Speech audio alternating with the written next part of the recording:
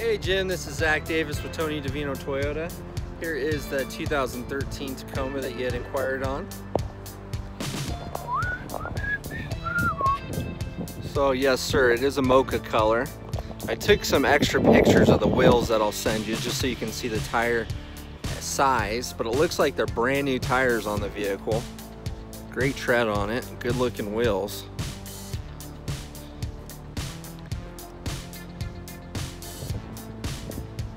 Looks like we do have a tow package on the vehicle.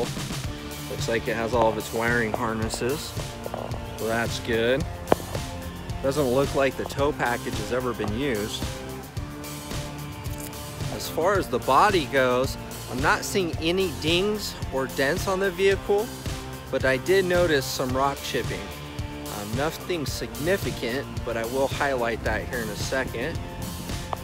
Looks like they did a custom front bumper on this vehicle. Actually, it's pretty good looking. Looks like they also did a clear bra on the front hood. So, here's the wheels and tires. Looks like we got size P2 85 70 R17s. Full tread left.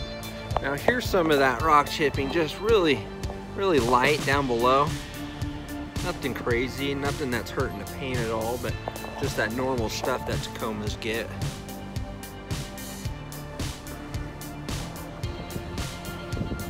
Bed looks like it's decent.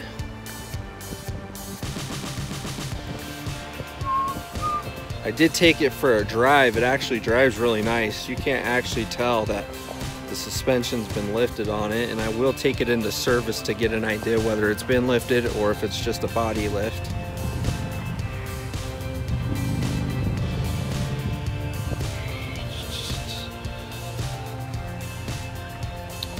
Let's take a look inside. Looks like it has its weather mats, Looks like all the upholstery is actually in pretty good shape. No major stains or anything that I can notice.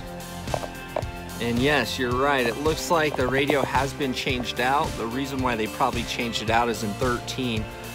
There wasn't a lot of USB and auxiliaries, but you do have that option now with this radio. So other than the just deck in hand, um, it doesn't look like there's any subwoofers or any modifications to the stereo system. So does look like it has Bluetooth on it. Seats are in good shape. Doors are in good shape. Carpet's in good shape. Alright. Alright partner, I'll get this video on to you and see what you think. Thank you.